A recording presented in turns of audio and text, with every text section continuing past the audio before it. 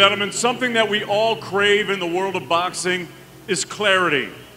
And now we've got it with this next bout, courtesy of Mr. Ed Hearn of Matchroom Boxing. 10 rounds for the unification of the WBC, the WBA, the IBF, and the WBO, and the vacant Ring Magazine Lightweight Female Championships of the World. Introducing up first, the reigning and defending WBC lightweight champion of the world, 43 and 1, 18 knockouts. She's fighting out of Roeselare, West Flanders, Belgium. Here is the WBC female lightweight champion of the world, Delfine Persoon. Persoon.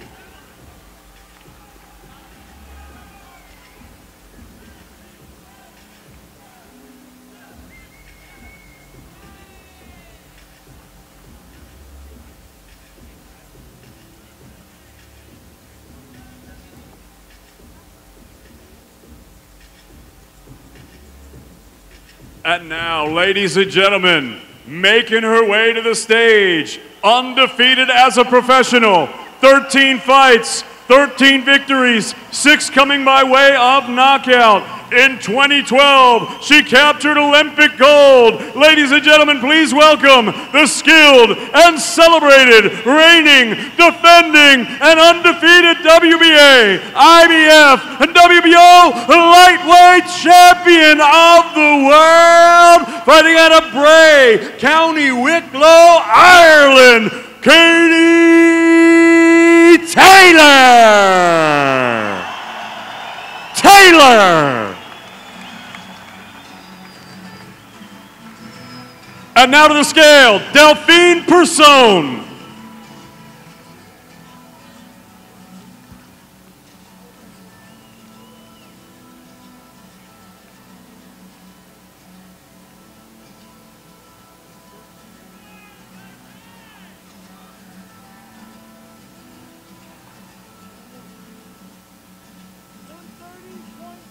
130.6 pounds for WBC champion of the world, Delfine Persoon, 130.6, 130 and one half pounds.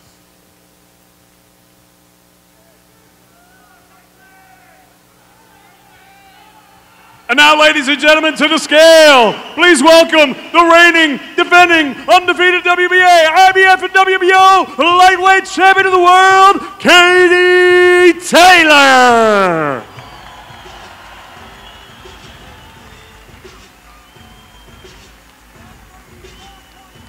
134.6, 134 and one half pounds for Katie Taylor. 134.6, lightweight unification.